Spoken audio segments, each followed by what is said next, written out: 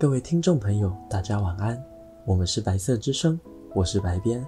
以下是柯文哲八月五日至八月九日的一周事迹。本周一，市长柯文哲亲自宣布，台北市祝你好运三点零版正式上路。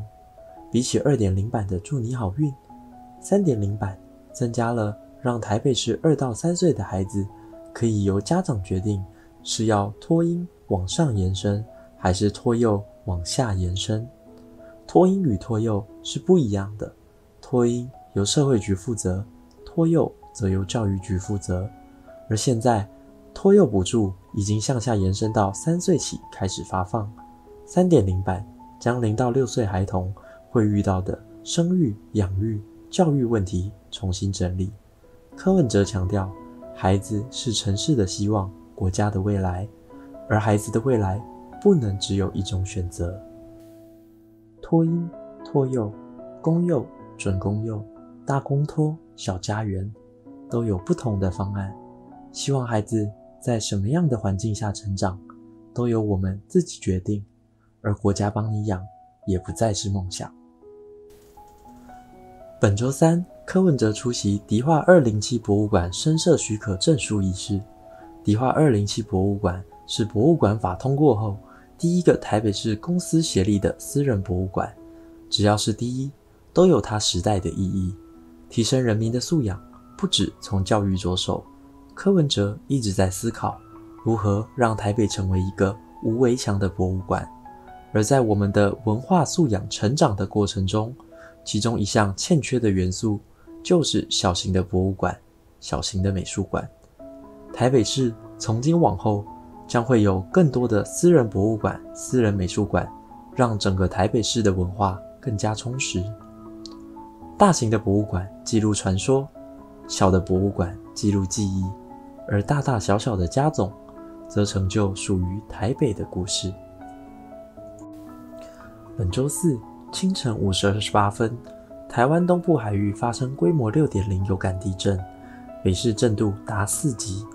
台北市灾害防救办公室立即透过消防局通报各局处启动紧急应变小组，并立即展开查报及救灾工作。一个半小时后，一九九九市民热线通报的案件计十五件，万华区分歧线路事故等灾害皆陆续修复。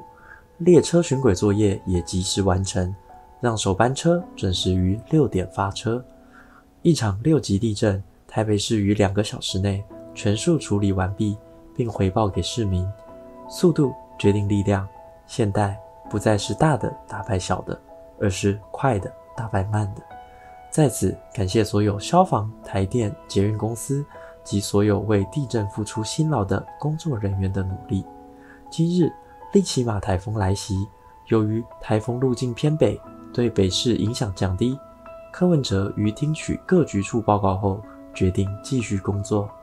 灾防工作会议结束后，柯文哲前往台北流行音乐中心，在相关局处首长陪同下，步行至北流南基地文化馆前的工区广场，实地视察工区整备状况，并特别看了一下工区的相关抽水马达运作情形。对于同仁们在台风天坚守岗位的辛劳，柯文哲也予以勉慰。本周地震、台风双重灾害让台北市备受考验，所幸没有重大伤亡，而所有意外皆处理迅速。至今日八时为止，消防局出动累计人数达两百二十七人次、一百零八车次，受理的灾情案件有九十件。停电二十件，其他意外二十九件。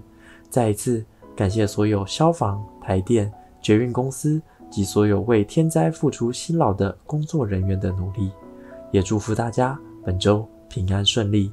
以上是柯文哲八月五日至八月八日的一周事迹。我是白边，在结束前，让我们补缺遗漏的本周二。本周二，八月六日是历史性的一刻。台湾民众党在蒋渭水先生生日的这一天，柯文哲先生生日的这一天成立。虽然是工作日，但仍有上千位的民众到场支持。当日就有上千人入党。对他们而言，工作生活有更重要的一件事，就是捍卫台湾。相较于场外用仇恨博取媒体版面的抗议人士，我们选择用爱推动这一项宁静革命。感谢当日辛苦付出的志工与工作同仁，而我们也相当荣幸成为他们的一员。我们知道敌人将会对我们用更大的力度继续攻击，然而自由之树必须以爱国者的血来灌溉。如果我们再不做，就再也没有人愿意来做了。而当我们对重要的事变得沉默，我们的人生也将开始失去价值。也许你和我一样。想为蓝绿恶斗的泥沼中找出一片净土，你可以平静着、默默地支持我们，也可以选择成为我们的一员。在这个党内，没有一人需要为他的价值认同而道歉。我们不知道会走多远，但我们会去做。如果只会坐着谈自己的理想，永远都会被困在梦想的牢笼。不要说做不到，要说怎么做到。每一滴希望声音的汇聚，终将成为推动时代的洪流。这一次，让我们一起用宁静革命守护台湾。我是白边，以上是属于台湾民众党的一周事迹。我们下周再会。